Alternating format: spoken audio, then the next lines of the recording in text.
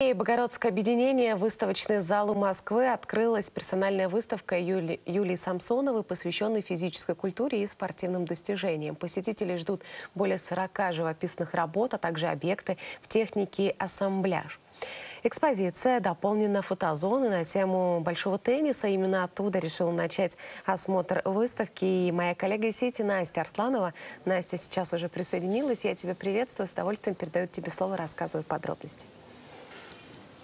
Привет. Да, я сейчас нахожусь в фотозоне, которая посвящена большому теннису. Здесь очень ярко. И, кстати, можно взять ракетку и вместе с ней сделать красивые фотографии. Причем самое интересное, что здесь можно как начинать, так и заканчивать просмотр экспозиции. Потому что вся выставка построена по такому принципу, что картины связаны между собой по смыслу. Всего тут 40 экспонатов, и охватывают они, наверное, почти все виды спорта, ну, как минимум, из известных лично мне. Есть футбол, баскетбол, настольный теннис, синхронное плавание и даже что-то на байдарках. Четкие элементы, геометрические линии, никаких широких и грубых мазков, а где-то радующая глаз перфекциониста симметрия. Мне эти работы напомнили фильмы режиссера Уэса Андерсона.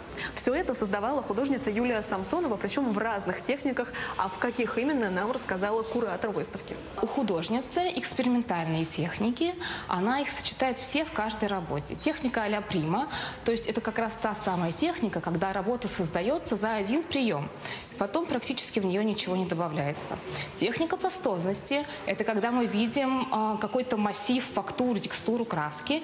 И, наконец, техника градиента, когда художник намеренно отказывается от большого количества цвета и разбавляет его белой и черной краской. В статичных композициях автор пытается найти характер и главную особенность изображаемых видов спорта.